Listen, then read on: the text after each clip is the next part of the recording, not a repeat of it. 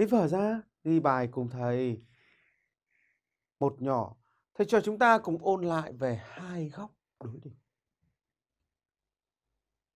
1.1 Định nghĩa Hai góc đối đỉnh là gì? Các con cùng xem lại với thầy. Hai góc đối đỉnh là hai góc mà mỗi cạnh của góc này là tia đối của mỗi cạnh của góc kia. Nhớ nhá, mỗi cạnh góc này đều là tia đối của mỗi cạnh góc kia. Đây, nhìn hình vẽ cho thầy. Góc x phẩy đối đỉnh với góc y phẩy.